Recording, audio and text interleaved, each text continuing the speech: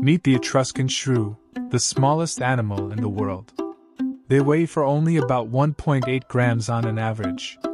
The Etruscan shrew has a body length of only about 4 centimeters, which is roughly the size of your thumb. Given their small size, they have incredibly rapid movements. Due to their extremely small size, they are at constant risk of hypothermia and would freeze to death if not their fast metabolism. They eat about 1.5 to 2 times their own body weight per day.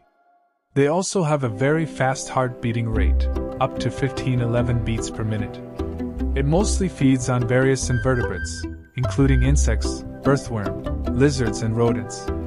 They are extremely widespread from Europe and North Africa, up to Malaysia, but are still rare in some countries like Georgia, Jordan, and Kazakhstan.